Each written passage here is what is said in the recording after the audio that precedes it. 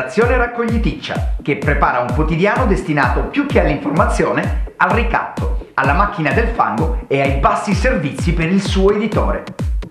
Un redattore paranoico che aggirandosi per una Milano allucinata o allucinato per una Milano normale, ricostruisce la storia di 50 anni sullo sfondo di un piano sulfureo costruito intorno al cadavere putrefatto di uno pseudo Mussolini.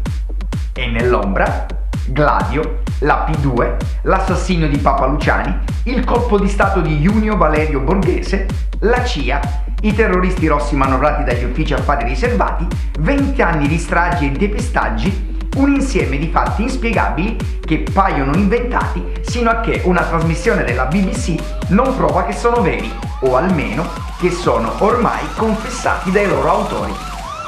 E poi, un cadavere che entra in scena all'improvviso nella più stretta e malfamata via di Milano. Un'esile storia d'amore tra due protagonisti perdenti per natura un ghostwriter fallito e una ragazza inquietante che per aiutare la famiglia ha abbandonato l'università e si è specializzata nel gossip su affettuose amicizie, ma ancora piange sul secondo movimento della settima di Beethoven.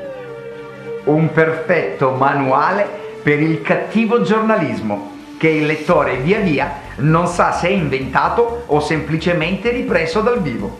Una storia che si svolge nel 92, in cui si prefigurano tanti misteri e follie del ventennio successivo, proprio mentre i due protagonisti pensano che l'incubo sia finito.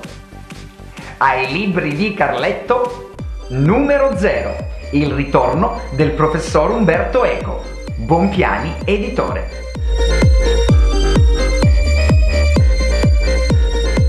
Alla prossima settimana con un nuovo libro, seguici sulla pagina Facebook Carletto e sul nostro canale YouTube. Ciao a tutti e buona lettura da Carletto.